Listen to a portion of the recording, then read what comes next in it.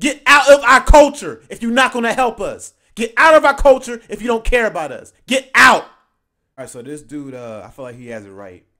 He has it right, and I feel like, uh, see, when a white person calls it out, that's what we need. Even as a black person, like I need to. If, if there's an issue in the black community, it needs to be somebody who looks like me to address the black community.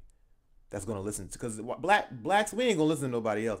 But we're more inclined. They might not even listen to my behind, but they're more inclined to listen to me than they are to any other person that's outside the race. So a lot of us black people, we say these different things about how y'all in our culture and things like that to white people, and white people like, yeah, but you know, how you gonna do that?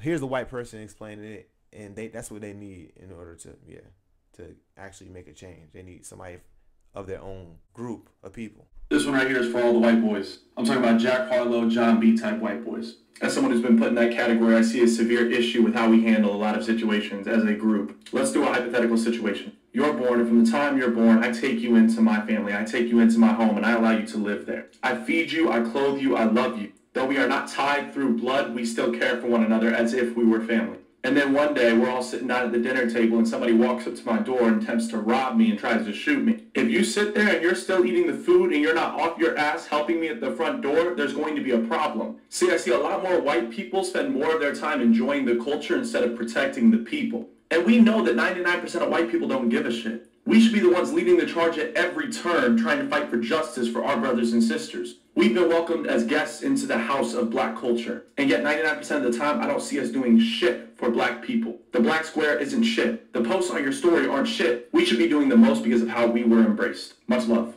And the thing is, I didn't. He's he giving a perspective from a white person's side that I never even knew about. I didn't. He literally called out white people. He said 99% of y'all don't give a S H I T. I did not know that. A sugar honey iced tea. I did not know that. I didn't know that, bro. You know why? Because why I don't. White people don't talk about. Uh, that. See, white people talk to other white people in secret about what they feel about blacks and how they perceive the world to other whites because they feel safe with other whites. Just like blacks, we talk to other blacks about how we perceive whites in the world and everything with blacks in the in in, in the privacy of, of that space because it's it's for us it feels like a safe space, right? He literally just called it out. He literally called out that white people be all up in our culture, but don't give a mother. Don't don't give a f u c k about us. They enjoy our culture, but don't want to protect us. They they what he say? He said y'all and y'all don't protect the people, but y'all enjoy the culture. Dang, dang.